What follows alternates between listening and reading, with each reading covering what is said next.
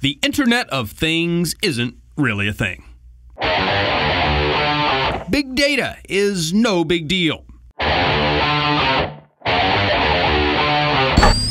Artificial intelligence is dumb. The preceding have been examples of fake news.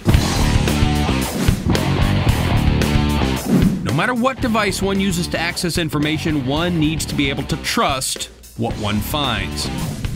INMA members have long standing trust relationships. Now, as consumers struggle to make sense of the world around them, our role has become more vital than ever. You have come to the INMA World Congress to learn how to express your indispensable qualities and turn them into digital subscriptions, revenue diversification, and online profit centers. Take AI, IoT, OTT, VR, FBG, Plus, and that one with a little bird, and give them an infusion of the ultimate game changer. Brilliant, substantial, trustworthy insight. Going old school can be disruptive too. It's time to make news.